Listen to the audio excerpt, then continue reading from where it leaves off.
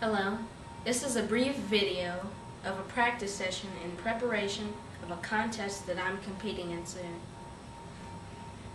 I'll be playing Keiskleiriana by Jacques Delecluse. Etude 1.